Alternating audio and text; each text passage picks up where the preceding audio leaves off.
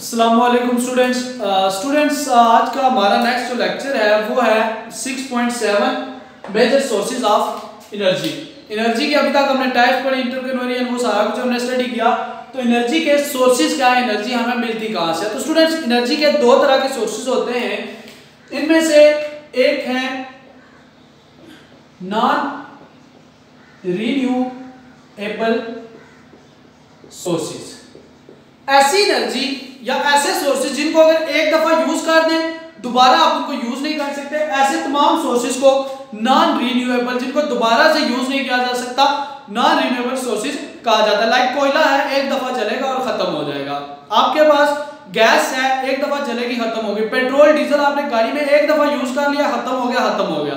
तो ये सारे सोर्सेज जो हैं, वो नॉन रिन्यूएबल सोर्सेज जिनको दोबारा यूटिलाइज नहीं किया जा सकता। दूसरे जो होते हैं number two that are renewable sources पानी है पानी पानी को आपने एक हाइट से फेंका हाइट से चला के टर्बाइन चलाई वो डैम जो बने होते डैम पे बिजली बनाई फिर वो पानी आगे गया खेतों में लगा दिया खेतों में यूज़ किया वहाँ पे आपको वहाँ से भी उससे एनर्जी मिली कहीं आगे दोबारा से डैम बनाना चाहे उसी पानी से दोबारा डैम भी बन सकता है आगे जाके एक नया डैम बना ले वही पानी दोबारा से भी क्या होता है? यूटिलाइज हो सकता है। रीन्यूएबल सोर्स है। सूरज से एनर्जी आती है, एक दिन आती है, दूसरे दिन, तीसरे दिन, रोज के रोज आए जा रही है, आप यूज़ किए जा रहे हैं। रीन्यूएबल सोर्स है। एनर्जी बार बार हमें क्या होती है? मिलती रहती है। जियो थर्मल एनर्जी है। आप गर्मी ज़मीन की हीट को यूज़ करके गर्म करके चीज़ों को, पानी को जो है वहाँ से भाप बनाए। बार बार बनाते रहे, उसकी हीट को कोई फ़र्क नहीं पड़ेगा। न्यूएबल सोर्स है। तो ये सारे एनर्जी जो है वो जिनको दोबारा से रीन्यू किया जा सकता है that energy is called the renewable energy sources तो इसमें फ़र्स्ट हम जो है वो नॉन रीन्यूएबल सोर्सेज को डिस्कस करते हैं देन हम जो है वो रीन्यूएबल सोर्सेज तो इसमें फ़र्स्ट ऑफ़ ऑल है fossil fuels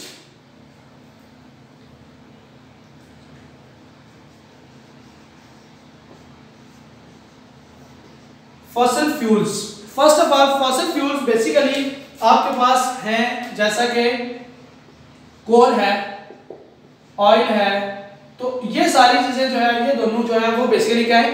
फ़सल फ़सल फ्यूल्स बेसिकली आपको पता है, जो पहले प्लांट्स थे, वो कहीं पे दब जाते हैं, उनके जो वेस्ट होता है, वो दब जाता है तो वहाँ से कोयला बनता है। जो स्मॉल आपकी समंदरी जो क्रिएशन होती हैं मतलब जो जिसम होते हैं, जो कि मर जाते हैं जेर ज़मीन दब जाते हैं समंदर के नीचे, फिर वहाँ से उनसे जो है, वो ऑयल जनरेट होता है। मिलियन ऑफ़ ईयर अगो जो वहाँ पे चीज़ें दब गई थी वहाँ से फिर ऑयल प्रोड्यूस होता है या आपको कोयला मिलता है मिलियन ऑफ़ ईयर जो दरख्त वगैरह दबे या जो ढांचे वगैरह दब के वो ढांचे तो है वो वहाँ से क्या बनता है उनसे फ्यूल डिफरेंट बनता है। तो ये जो सारा फ्यूल होता है इस, इसको हम फॉसिल फ्यूल्स कहते हैं। तो फॉसिल फ्यूल जो है basically formed from the remains of plants and tiny sea creatures which lived million of year ago. These are very concentrated source of energy. Oil is specially useful because petrol diesel and jet fuel can be extract from it oil जो है इससे fuel diesel बनाया जाता है petrol बनाया जाता है। Jet fuel मतलब ये जो हवाई जहाज़ वगैरह चलते हैं, उनका फ्यूल वो सारा जो होता है, वो किससे बनता है इन्हीं फॉसल फ्यूल से। तो इस फॉसल फ्यूल्स बेसिकली क्या है कि आपको क्रिएशन से डिफरेंट जो मिलियन ऑफ़ ईयर गुजर गए हैं, उनसे जो है, वो आपको हासिल होता है। इनको यूज़ करने के लिए कुछ प्रॉब्लम्स हैं कि प्रॉब्लम बेसिकली क्या है, इनके हमने, इन पूरे टॉपिक्स में स्टूडेंट्स हम ये देखेंगे कि ये सोर्सेज हैं क्या। और इनको यूज़ करते हुए हमें प्रॉब्लम्स क्या फेस करनी पड़ती हैं? तो इसके लिए जो प्रॉब्लम्स हैं, सबसे मेन प्रॉब्लम ये है कि ये आपके पास लिमिटेड है। बहुत जल्दी जो है ये खत्म हो जाएगा। आपको नए उस तरह से ज़्यादा मिलते नहीं है सहायक तो ये क्या आता है लिमिटेड है। सोर्स क्या होता है? इनका नॉन रिन्यूएबल है तो लिमिटेड है। जब एक दफ़ा इनको जलाया जाता है तो ये खत्म हो जाते हैं। अब इनके जलने से क्या होता है कि आपको दूसरी प्रॉब्लम यह है इन्वायरमेंटल इन्वायरमेंटल प्रॉब्लम है आपका इन्वायरमेंट जो है, उसको क्या करते हैं? खराब करते हैं, धुआँ वगैरह प्रोड्यूस होता है, उसकी वजह से क्या होता है? इन्वायरमेंटल प्रॉब्लम होती है और ग्लोबल ग्लोबल वार्मिंग जो है, इनकी वजह से बहुत ज़्यादा होती है। स्टूडेंट्स सेकंड इसमें है that is nuclear fuels nuclear fuels students बहुत ही कम न्यूक्लियर फ्यूल्स जो है, आपको मिलते हैं बट बहुत यूजफुल होते हैं और नॉन रिन्यूएबल है, एक ही दफ़ा यूज़ हो सकते हैं। लाइक अभी मैंने एक एग्जांपल आपको लास्ट लेक्चर में भी दी थी दैट इज़ यूरेनियम स्टूडेंट्स अगर आपके पास वन के जस्ट एक किलोग्राम यूरेनियम हो तो उससे जो आपको एनर्जी मिलती है, वो इक्वल होती है आपको 25 मिलियन टन कोल से मिलने वाली एनर्जी फॉर एग्ज़ाम्पल अगर एक के जो यूरेनियम है, वो अगर आपको 210 या 200 या 100 200 जोल्स एनर्जी देता है तो अगर आप 25 मिलियन, ठीक है, आप अगर 25 मिलियन टन कोयला जलाएँगे तो वो भी आपको कितनी एनर्जी देगा?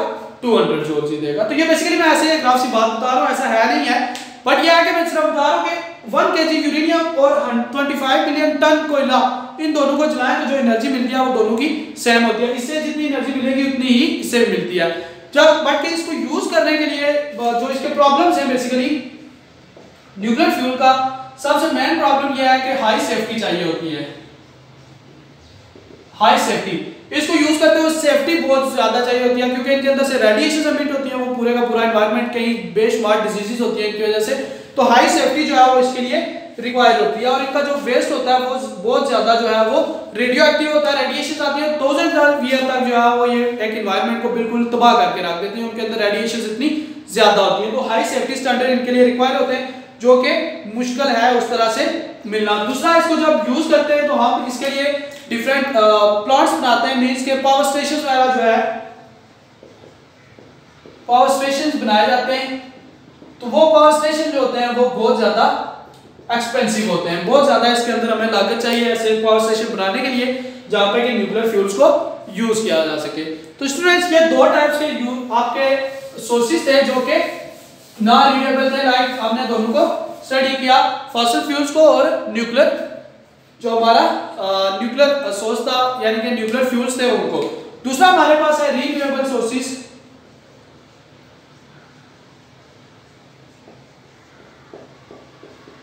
रिन्यूएबल सोर्सेज में हम जो है फ़र्स्ट निपटते हैं that is hydro electric energy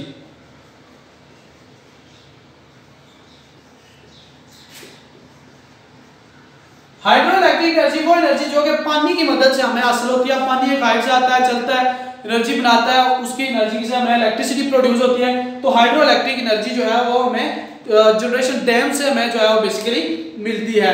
तो इस तरह की एनर्जी जो है वो फ्लो ऑफ़ वाटर की वजह से मिलती है और उसके जो एनर्जी, इसके लिए हमारे पास प्रॉब्लम्स हैं। एनर्जी बेसिकली क्या है इसकी? पानी की वजह से इलेक्ट्रिकल एनर्जी जो प्रोड्यूस होती है, इसको हाइड्रो तो बेसिकली डैम्स जो है, वो बनाना जो है बेसिकली क्या होता है? एक्सपेंसिव नंबर वन है कि डैम जो है वो एक्सपेंसिव होता है बनाना expensive to build number two इसकी प्रॉब्लम ये है कि only few areas are suitable. बहुत कम जगह दुनिया में होती है जहाँ पे कि आप आसानी से डैम बना सकते हैं। डैम बनाने के लिए सुटेबल जगह मिलना भी क्या होता है? मुश्किल होता है। और नंबर थ्री इसकी वजह से ये होता है कि फ्लडिंग वगैरह हो जाती है। कई दफ़ा डैम वगैरह टूट जाता है तो डैम टूटने से क्या होता है? फ्लड आते हैं। आगे सैलाब वगैरह आते हैं, उसकी वजह से जो है वो आगे डिस्ट्रक्शन होती है। तो बेसिकली ये इसके जो है वो मेन ड्रॉबैक्स है या इसकी प्रॉब्लम है इसको यूज़ करते हुए हाइड्रो इलेक्ट्रिकल एनर्जी को। नंबर टू स्टूडेंट्स इसमें है टाइडल एनर्जी टाइडल एनर्जी जो है वो बेसिकली टाइडल एनर्जी जो है वो आपकी है कि सिमिलर टू हाइड्रो एनर्जी की तरह की होती है ये बट द लेक फ़ील्ड मतलब आपके पास एक लेक होती है जहाँ पे आपकी झील वगैरह जब हवा चलती है बहुत तेज़ी के साथ तो आपके पास क्या होती है कि टाइड्स चलती हैं लहरें बन के आती हैं तो वो फिल हो जाती है। जब आप वहाँ से निकल जाती है टाइड्स खत्म हो जाती है तो वो लैक आपका क्या हो जाता है? खाली हो जाता है। तो उस दौरान आपकी जनरेशन यानी जब टाइड्स लहरें बनती हैं तो उनकी वजह से पावर जनरेटर जो होते हैं, वो चलते हैं। जनरेटर चलने से आपको क्या मिलती है? इलेक्ट्रिकल एनर्जी मिलती है। लेकिन ये जो टाइड्स होती हैं, इनका प्रोड्यूस करना ही बहुत टफ होता है। मीन्स इसकी जो मेन प्रॉब्लम होती है कि few areas are suitable very few.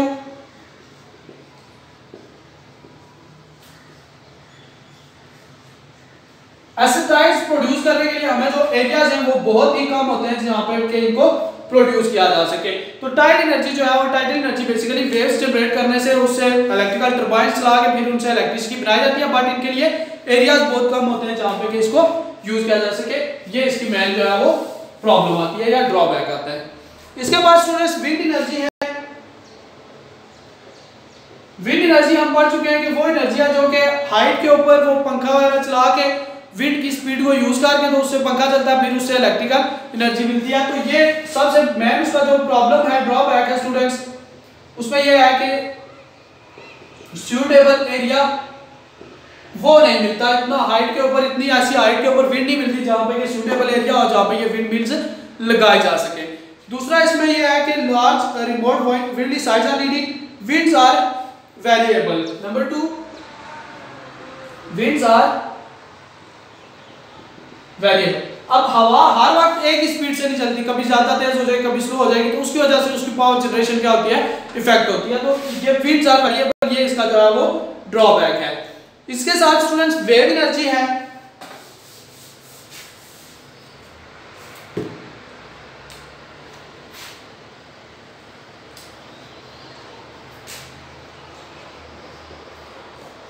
Wave energy students समंदर में लहरों का प्रोड्यूस करना, लहर है समंदर के ऊपर कभी अप एंड डाउन से प्रोड्यूस होती हैं तो वहाँ पे डिफरेंट डिवाइसेस या डिफरेंट डिवाइसेस को ना वेव के अंदर रखा जाता है, जब वेव चलती है तो उनकी मदद से वो डिवाइसेस चलती हैं, और उनसे जो है वो इलेक्ट्रिसिटी प्रोड्यूस होती है। तो ऐसा स्टूडेंट्स बहुत रेयरली होता है, बहुत कम वेव्स जो है वो उस तरह से इतनी हाई की जनरेट की जा सकती है कि उनकी इलेक्ट्रिसिटी प्रोड्यूस हो। और सबसे मुश्किल है ये मींस इनकी प्रॉब्लम यह है कि वो जो डिफ़िकल्ट डिफ़िकल्ट टू प्रोड्यूस बहुत ही मुश्किल होता है कि इस तरह की कोई डिवाइस वेव्स को जो है वो जनरेट किया जा सके plus few devices have been successful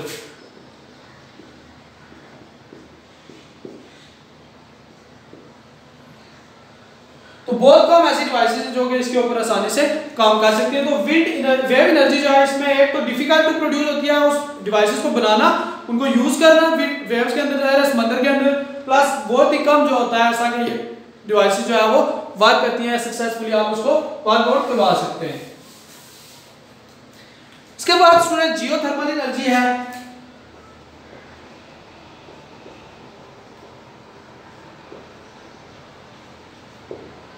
geothermal energy students हमने पिछले लेक्चर में देखा था कि वो एनर्जी जो कि हमें ज़मीन की हीट से हासिल होती है बेसिकली तो वो एनर्जी अगर बनानी है तो नंबर वन इसके प्रॉब्लम स्टूडेंट्स हम मैक्सिमम जो है वो प्रॉब्लम ही देख रहे हैं क्योंकि ये टाइप्स ऑफ़ एनर्जी हम पीछे पढ़ चुके हैं। तो प्रॉब्लम में फर्स्टली ये है कि डीप ड्रिलिंग इज़ डिफ़िकल्ट ठीक है?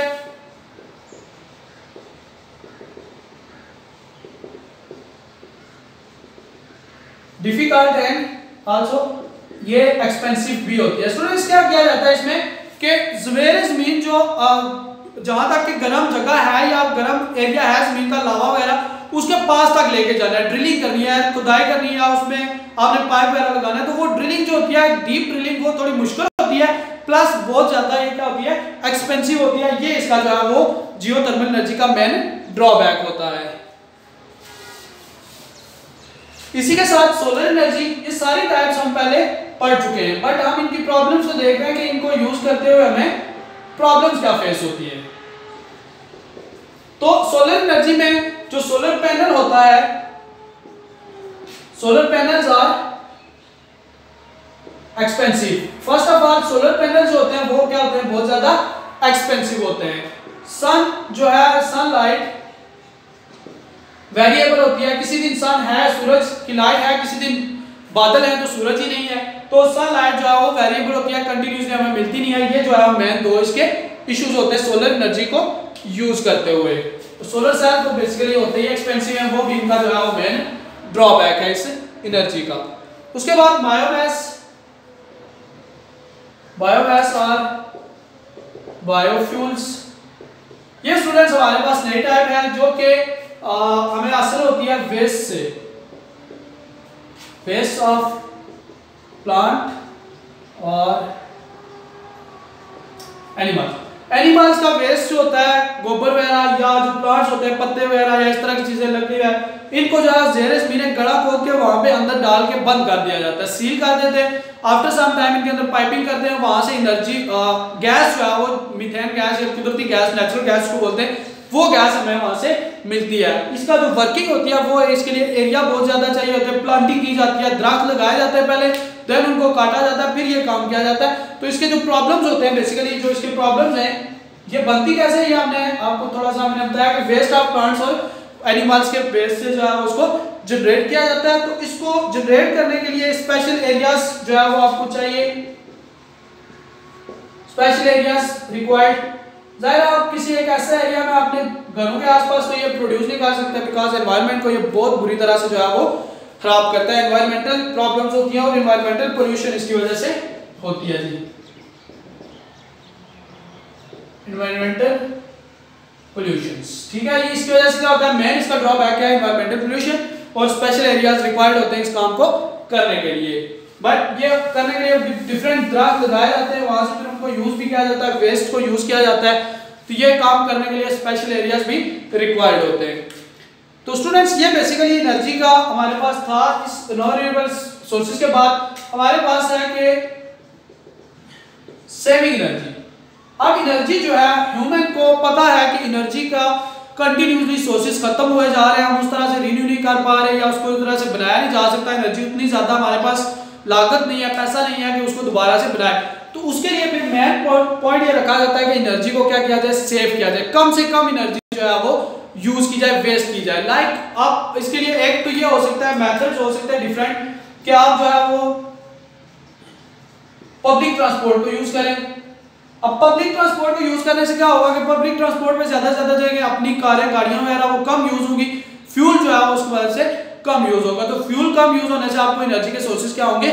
बचेंगे। एनर्जी सोर्स आप उसको सेव कर सकते हैं। फ्यूल उसका जो है वो include great use of public transport and bicycle instead of cost better installation in building building के अंदर इंस्टॉलेशन अच्छी रखें, अच्छे मटेरियल ऐसा यूज़ करें। आपका जो वेस्ट होता है, उसको कहीं पे यूज़ बॉटल्स वगैरह कई दफ़ा आप देखते हैं, ये जो बॉटल्स होती हैं, इनको यूज़ करके डिफरेंट तरह की चीज़ें बनाई जाती हैं, घरों में भी रखी होती हैं।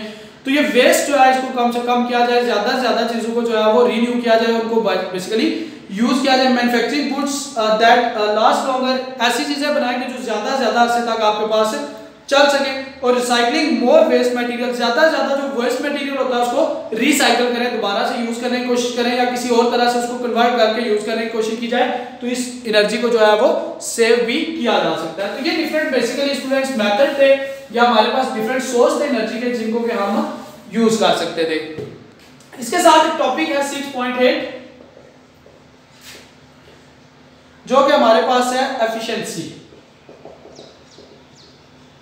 एफिशिएंसी स्टूडेंट्स बेसिकली आपके पास है कि आप किसी भी बॉडी को अगर एनर्जी देते हैं तो उस एनर्जी के बिहाव पे वो बॉडी आपको कितना काम करके देता है। तो वो जो काम करके देता है बॉडी वो बेसिकली आपके पास एफिशिएंसी होती है कि इतनी इसकी एफिशिएंसी है, इतना ये हमें आउटपुट जो काम करके बॉडी देता है, वो आउटपुट होता है, जो आप एनर्जी देते हैं दैट इज़ इनपुट होती है। तो इसकी बेसिकली जब डिफाइन करते हैं the ratio the ratio of the ratio of required form of energy required form of energy required form जो है बेसिकली आप कह सकते हैं उसको आउटपुट ठीक है required form of energy to the required form of energy to the total energy total energy given to the system यानी कि आपका जो इनपुट होता है। इनपुट एनर्जी और आउटपुट एनर्जी जो होती है, इन दोनों की जो रेशियो होती है that is basically called the efficiency students कई दफ़ा आप देखें, आपने एक बल्ब जलाया बल्ब जलता है तो उसकी वजह से आपको हीट तो मिलती है। साथ में गर्म आप देखें जिसम वो जो बल्ब होता है, गर्म हो जाता है। और लाइट भी हमें मिलती है। हमें सिर्फ़ रिक्वायरमेंट कितनी की? लाइट की। तो वो जो हीट हमें मिली है, वो एक तरह की हमारी एनर्जी वेस्ट हो गई है। बिल्कुल ज़ाया नहीं हुई है बल्कि वो हमारी क्या एनर्जी होती है वेस्ट हो जाती है। बिल्कुल उसको हम ये नहीं कहते कि लॉस होगी बट वेस्ट होगी। वो उस बॉडी की एफिशिएंसी के ऊपर क्या होता है? फ़र्क पड़ता है। हमें रिक्वायरमेंट थी सिर्फ़ किसकी? अब ऐसा तो नहीं हो सकता कि कहीं पे अगर आपको सर्दी लग रही है, ठंडक है तो आप ये कहेंगे टर्न ऑन द बल्ब ऐसा नहीं है। बल्ब को नहीं ऑन किया इसका मतलब वो एनर्जी क्या हो जाती है? एक तरह की वेस्ट हो जाती है। तो उस बॉडी की एफिशिएंसी क्या होती है? डिक्रीज होती है तो input to output ratio output ratio हमें सिर्फ़ और सिर्फ़ लाइट की थी, ना कि हमें हीट चाहिए थी। तो टोटल जो हमारे पास एफिशिएंसी होती है efficiency is basically is equal to output energy जो कि हमें मिली है, और divided by input energy. Output to input energy की जो रेशियो होती है बेसिकली उसको हम क्या कहते हैं? एफिशिएंसी और अगर एफिशिएंसी को जो आपने परसेंटेज निकालनी हो मींस आपको इसको जो रिप्रेजेंट कर दें रिप्रेजेंट बाय ये इसकी टाइप होती है ग्रीन लेटर है ईटा ईटा की मदद से इसको रिप्रेजेंट किया जाता है ईटा की मदद से, और यूनिट लेस होता है। क्योंकि ये दो एनर्जी और एनर्जी एनर्जी और एनर्जी की रेशियो है. तो रेशियो हमेशा क्या होती है? यूनिटलेस होती है. एफिशिएंसी का कोई यूनिट नहीं होता. ये इसको हमेशा परसेंटेज में फाइंड किया जाता है. तो परसेंटेज फाइंड करने का क्या तरीका होता है? वो भी आपको मैं बता देता हूँ. इन टर्म ऑफ़ एनर्जी भी और इन टर्म ऑफ़ वर्क भी आप इसको लिख सकते हैं. Eta is equal to output work ठीक है divided by input work output to input work का जो रेशियो होता है दैट इज़ कॉल्ड एफिशिएंसी और अगर आपने इसकी परसेंटेज निकालनी हो तो मल्टीप्लाई कर देते किससे? 100 से। तो ये आपकी परसेंटेज एफिशिएंसी निकलती है ठीक है? तो परसेंटेज एफिशिएंसी निकालने के लिए मल्टीप्लाई बाय 100 करते हैं यानी किसी चीज़ का परसेंट निकालना हो तो, तो ये बेसिकली आपके पास क्या होती है? परसेंटेज एफिशिएंसी और ये हमेशा परसेंट में निकाली जाती है इसका कोई यूनिट नहीं होता है। तो ये स्टूडेंट छोटा सा टॉपिक का इसमें डेफिनेशन इसका फार्मूला वर्क की फॉर्म में भी और एनर्जी में भी और परसेंटेज एफिशिएंसी कैसे निकालनी है, उसका मेथड आपने याद रखना है। इसी के साथ एक टॉपिक है 6.9 that is power power students किस चीज़ को कहते हैं? या पावर हमारे पास क्या है? अक्सर हम लोग जो है, जब इसको स्टडी करते हैं तो एज ताकत के तौर पे कंसीडर करते हैं। तो पावर बेसिकली स्टूडेंट डिफाइन जब करते हैं तो rate of doing work is called power किसी भी टाइम में कितना वर्क किया जा सकता है, उसको हम पावर कहते हैं। Means power is equal to work divided by time rate of doing work is called power power जो है वर्क बाय टाइम के इक्वल पावर को लिख सकते हैं। W work divided by time तो डब्ल्यू अगर इसका यूनिट लिखे हम वर्क का यूनिट होता है जोल और टाइम का यूनिट होता है सेकंड तो इसको लिखा जा सकता है जोल पर सेकंड जो है वो इसका यूनिट होता है पावर का यूनिट जो है इसको हम वाट भी बोलते हैं. जोल पर सेकंड या इसको हम वाट भी कह सकते हैं. ये इसका बेसिकली जो है वो एसआई यूनिट होता है. तो किसी भी बॉडी का अगर इफ़ किसी बॉडी के जो है वो एक जोल काम करे एक सेकंड में तो उसकी पावर जो होगी वो वन वाट या वन जोल पर सेकंड होगी अगर कोई बॉडी एक सेकंड के अंदर एक जोल वर्क करता है तो जो उसकी पावर होगी, वो क्या होगी? वन वाट होगी। इसको भी आप डिफाइन कर सकते हैं। इसी तरह से स्टूडेंट्स हम इसका एक यूनिट होता है। वाट के अलावा आप इसका यूनिट जो है, वो एक यूनिट होता है। दिस इज़ हॉर्स पावर इसको कहते हैं, ठीक है? हॉर्स पावर इसका भी एक यूनिट है। हॉर्स पावर यानी कि वन हॉर्स पावर जो होती है इज़ इक्वल टू होता है 746 वाट के। यानी वाट इसका जो है, वो छोटा यूनिट है उसको बड़े यूनिट के तौर पे एक आप हार्स पावर को यूज़ कर सकते हैं। इसी तरह से जो है, वो मेगावाट यानी कि 10 रेज़ टू पावर 6 वाट इस तरह से गीगावाट यानी कि 10 रेज़ टू पावर 9 वाट ये जो है यूनिट्स भी इसके यूज़ किए जा सकते हैं। तो बेसिकली ये one horse power is seven forty six watt ये आप जो याद रखेंगे। ये अक्सर एमसीक्यूज में क्वेश्चन आता भी है। इसी के साथ ही स्टूडेंट्स एक सब टॉपिक है, इसी बुक वाले ने इसी टॉपिक के अंदर ही किया हुआ है, वो है relation of power and velocity velocity का यूनिट पावर के साथ क्या तल्लुक है? या आपका जो फोर्स है, उसके साथ पावर को हम किस तरह से रिलेट कर सकते स्टूडेंट्स हमने पढ़ा power is equal to work divided by time हमें पता है कि वर्क इज़ इक्वल होता है फोर्स मल्टीप्लाई बाय डिस्टेंस यानी डिस्टेंस मल्टीप्लाई बाय फोर्स करें तो वो हमारे पास क्या होता है? पावर वर्क होता है। तो power is equal to force multiply distance या डिस्प्लेसमेंट आप कुछ भी लिख सकते हैं। डिस्टेंस डिवाइडेड बाय क्या होगा? टाइम तो अगर इसको देखें तो power is equal to force multiply distance by time तो स्टूडेंट्स डिस्टेंस बाय टाइम जो होता है वेलोसिटी इज़ इक्वल होती है d बाय t या s बाय t. तो आपके पास यहाँ से पावर डिस्टेंस को आप डिस्प्लेसमेंट भी लिख सकते हैं डजंट मैटर ठीक है? डिस्प्लेसमेंट भी होता है, ये डिस्टेंस लिखें आप डिस्प्लेसमेंट लिखें, एक ही बात है। तो फोर्स मल्टीप्लाई बाय ये सारी चीज़ क्या बनेगी आपकी? वेलोसिटी तो ये आप कह सकते हैं पावर इज़ इक्वल टू किसकी होती है? F dot force into velocity का जो रिलेशन होता है that is equal to power ये भी बेसिकली आपका रिलेशन है जिसको कि आपको यूज़ कर सकते हैं। Power is measure how fast work is done और how fast energy is being converted from one form to another तो पावर बेसिकली डिफाइन की जा सकती है कि कितनी तेज़ी के साथ काम जो है वो किया जा रहा है या कितनी तेज़ी के साथ जो है वो आपकी एनर्जी जो है वो एक फॉर्म से दूसरे फॉर्म में कन्वर्ट हो रही है। तो पावर अगर हमने स्टार्ट में देखा था पावर इज़ इक्वल टू होता है W बाई टी तो W is equal to power multiply by time तो यहाँ से energy is equal to P into t ये भी निकाला जा सकता है रिलेशन वर्क क्योंकि एनर्जी के इक्वल होता है। तो पावर इज़ बेसिकली डिफाइंड कि हाउ फास्ट आप काम कितना तेज़ी से कर रहे हैं या कितनी तेज़ी के साथ एनर्जी एक फॉर्म से दूसरी फॉर्म में कन्वर्ट हो रही है। तो स्टूडेंट्स ये आज का हमारा लेक्चर था जिसमें कि हमने डिफरेंट फॉर्म्स ऑफ़ एनर्जी जो है या डिफरेंट जो सोर्सेज हैं उनको डिस्कस किया। उन सोर्सेज को यूज़ करते हुए हमें प्रॉब्लम्स क्या है? बेसिकली हमने उनको डिस्कस किया प्लस हमने एफिशिएंसी को देखा कि एफिशिएंसी क्या चीज़ होती है, उसका फार्मूला क्या है और उसको फाइंड कैसे करते हैं प्लस पावर क्या है और पावर का वेलोसिटी और फोर्स के दरमियान रिलेशन क्या है। तो होप्स हो कि आज का लेक्चर आपको क्लियर होगा। अगर इससे रिलेटेड आपके पास कोई क्वेश्चन है तो आप कमेंट सेक्शन में पूछ सकते हैं। इंशाल्लाह I will answer your questions thank you so much